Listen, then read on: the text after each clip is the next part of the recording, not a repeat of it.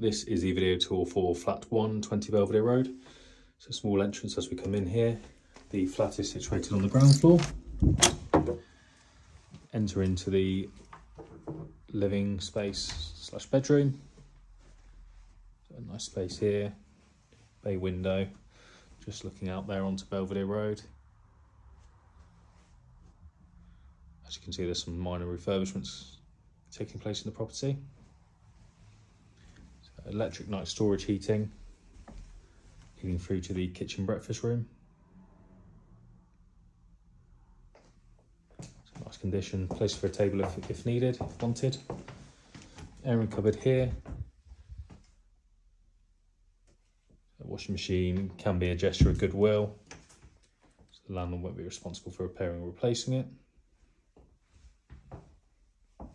Lastly, step up into the shower room.